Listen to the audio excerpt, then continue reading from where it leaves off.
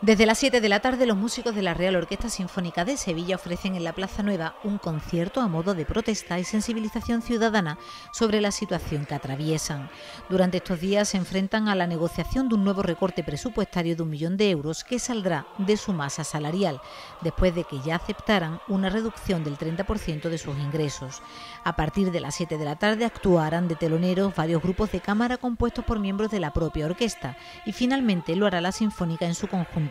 la plantilla ha creado el hashtag Salvemos la Ros para sumar apoyos a su causa.